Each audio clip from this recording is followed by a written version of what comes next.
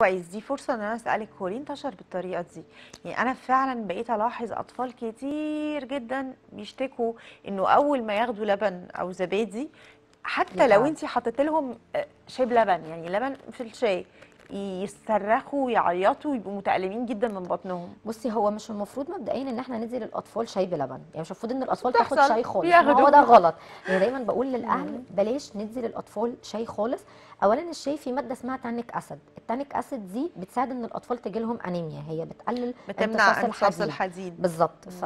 فالشيء حتى لو إحنا خدناه في وقت بعيد عن الأكل مادة التانيك أسيد دي خطيرة جدا. وعلى فكرة وإحنا عندنا في مصر نتيجة سوء الع... العادات الغذائية. على فكرة في الطبقات الغنية والطبقات ال... ال... ال... ال- العادية في عندنا أنيميا جامدة جدا لدرجة إن رئيس الجمهورية ووزارة الصحة تنبهوا للمشكلة دي واتعملت حملات كتير علشان مشكلة الأنيميا والتقزم في الأطفال لأن الأنيميا بتخلي إن الطفل وزنه قليل والطول بتاعه يبقى قليل ودي مشكلة آه، منتشرة. آه، في الطبقات اللي هي ال- الغنية بسبب إن إحنا بناكل الأكل المصنع ال fast food الأكل الجاهز ده ما بيبقاش فيه حديد خالص تمام؟ وبالعكس فيه دهون وحاجات كتير مضرة للطفل. وأنا دايما بطلع قوافل طبية كتير في القرى وفي النجوع. فدايما الأطفال كلهم على فكرة عندهم أنيميا. فلما بسأل الأم بياكل إيه تقول لي ده طول النهار بياكل في حلويات. فبقول لها طب يا ستي فلوس الحلويات دي لو جبتي له بيها فرخة وخضار ما هي نفس الفلوس على فكرة وهيبقى بيتغذى. تقول لي ما بيرضاش. فبقول لها هو مين اللي ما بيرضاش؟ إحنا اللي بنعود على فكرة الطفل على الأكل. أنت اللي عودتيه على الأكل ده. على فكرة الحلويات والأكل الجاهز للأطفال عامل زي المخدرات. صحيح. وانس اديتيه له أول مرة هيبقى عاوزها طول الوقت. عشان كده أنا دايما بنبه على الأمهات من وإحنا بندخل أكل للأطفال. بلاش بسكوت بلاش بيبسي آه، اللي هي آه، أنا آسفة آه، المياه الغازية. آه. بلاش بلاش بسكوت بلاش مياه غازية. بلاش حلويات. يعني ممكن حتى انت تعملي له حاجات في البيت مهلبية رز بلبن بلاش الحاجات الجاهزة.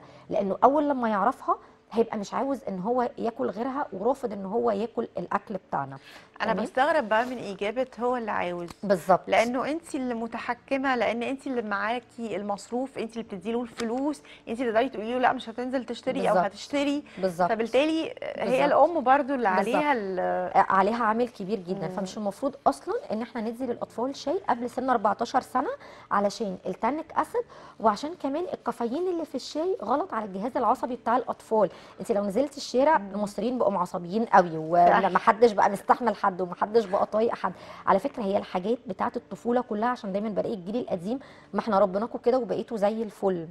طب انزلي الشارع شوفي الناس مش طايقة بعض إزاي ما هو ده تأثير الكافيين على الجهاز العصبي بيبان بعد كده.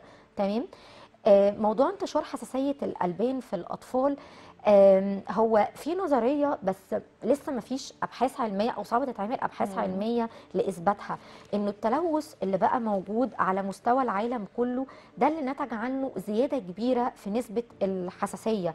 الجلوتين المصنع اللي بقى بيدخل في المخبوزات بتاعتنا الهرمونات العلف اللي بيتاخد لل- للفراخ ولل وللحيوانات آه، والهرمونات ال- يعني العلف داخل فيه هرمونات وداخل فيه صويا الافراط في استخدام الصويا من ضمن أسباب انتشار الحساسية. طبعا هو بيبقى فيه عامل وراثي يعني بيبقى فيه جين موجود مع التلوث اللي موجود دلوقتي فده اللي مزود فعلا آه، موضوع الحساسية.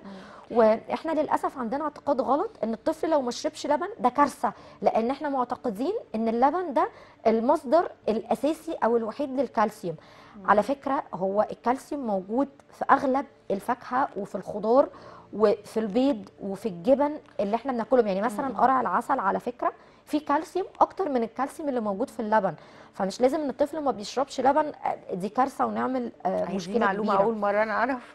بالظبط. لو الطفل بياخد قرع عسل أو أي فاكهة بطاطس بطاطا كل الحاجات دي على فكرة بطاطس والبطاطا والبطاطا واللبن بتاع. جوز الهند فيه كالسيوم. يعني لبن جوز الهند فيه كالسيوم. اللوز برضو اللوز من الحاجات اللي فيها كالسيوم كتير. بس ناخد بالنا ما نديش للأطفال مكسرات صحيحة قبل ما يتموا خمس سنين. وخمس سنين دي دراسة معمولة عشان ممكن يشرقوا فيها قبل خمس سنين. بعد خمس سنين عادي ممكن ياخدوا مكسرات صحيحة. طيب أنا لسه عايز أسألك على حساسية الألبان. وحابه أعرف هو ممكن طفل يقعد مثلا لغاية خمس ست سنين ما كانش بيعاني ابدا من حساسية ألبان وكان بيشرب اللبن آه، بشكل عادي وطبيعي وبعدين فجأة آه، بطنه. تألمه جدا من شرب بالظبط. اللبن؟ بصي هي الحساسية ممكن تيجي في أي سن. يعني ساعات حتى بنشوفها في البيبيهات حديثي الولادة اللي مم. لسه مولودين مم.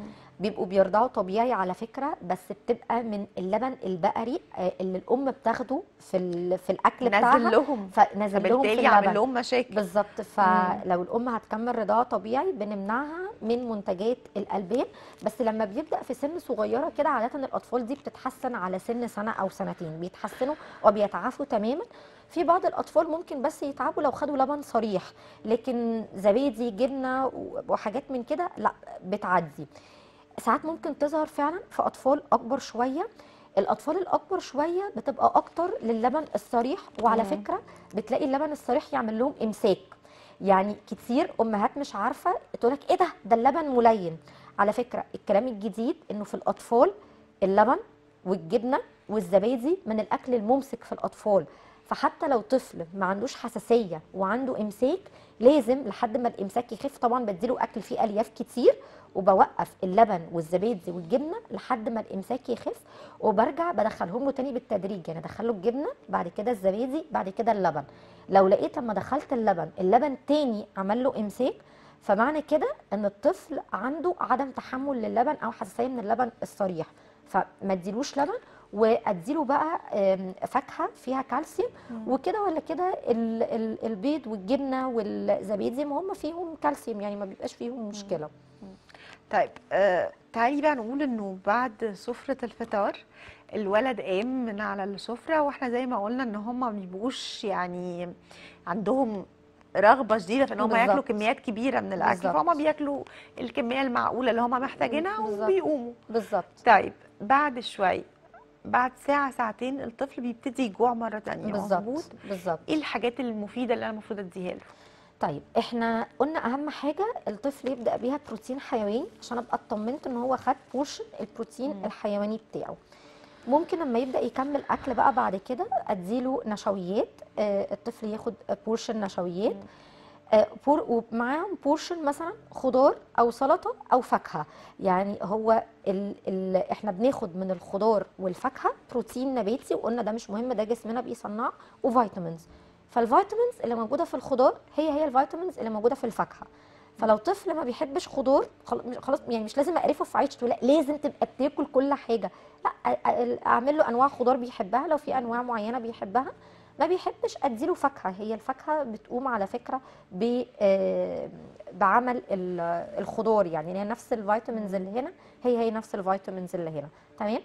فيكمل ال portion ده. مهم يبقى الطفل خد نشويات كويسة عشان تحافظ على مستوى السكر في الدم بتاعه. تمام؟ عايز يكمل بروتين حيواني تاني. okay. آه، مش عاوز آه، أديله فاكهة.